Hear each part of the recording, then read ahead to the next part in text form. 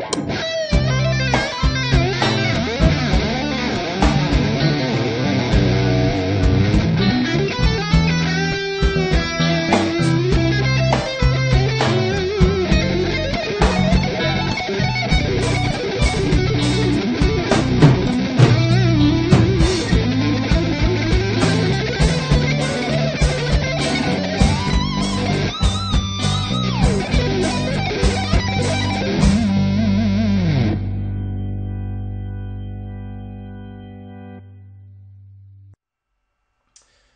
Donc détaillons un petit peu tout ça. Donc d'abord euh, une descente en legato en sol majeur en fait. Euh, la particularité de cette descente, en fait, c'est un système qui se décale, euh, mais c'est toujours la même chose, hein, c'est toujours la même boucle. Et le fait aussi que je l'articule en fait en donnant des coups sur le vibrato.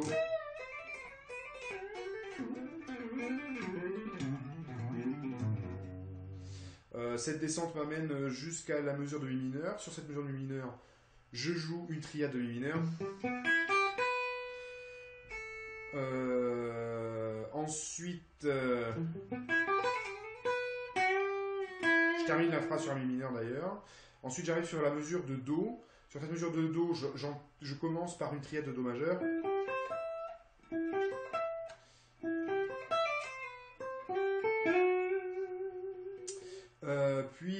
sur le Fa dièse mineur 7 bémol 5. Sur ce Fa dièse mineur 7 bémol 5, je joue simplement une triade diminuée de Fa dièse. Euh, ce type de triade se renverse sur lui-même, ce qui me permet euh, de le décaler de tierce mineure en tierce mineure, c'est-à-dire 3 cases en 3 cases, ce que je fais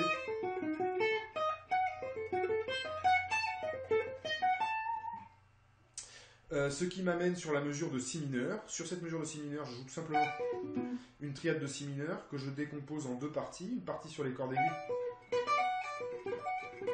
et une partie sur les cordes graves, où en fait je rajoute un La et un Sol, qui sont respectivement euh, la septième mineure et la sixte mineure euh, de mon accord de Si mineur. Ensuite, ensuite j'arrive euh, sur euh, ma mesure euh, de La mineur et de Ré mineur. J'enchaîne donc une montée par groupe de 4 notes de la gamme Sol majeur à partir de la note là sur la corde de Ré.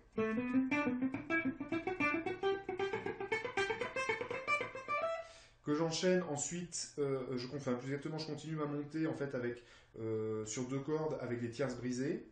Euh,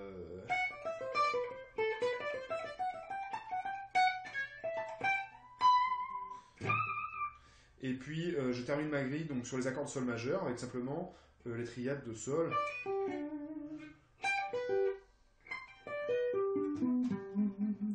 Et je suis arrivé euh, au bout de mon impro.